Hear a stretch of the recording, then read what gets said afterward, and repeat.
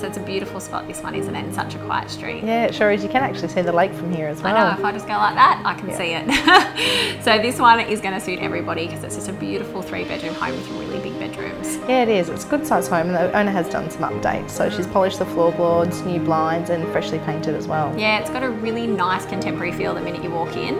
And I must say, getting a brick home is really great as well. And as I said before, those the bedrooms are really big and the built-ins are fabulous as well. The main bedroom actually has a walk-in robe, which you don't normally get.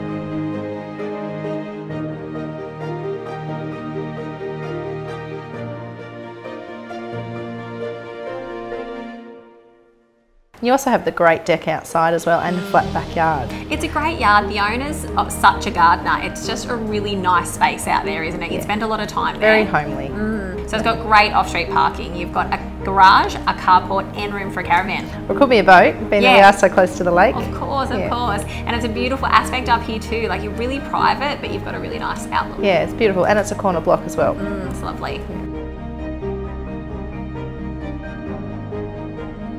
So there's such a beautiful contemporary home. In the perfect location. Really close to the lake.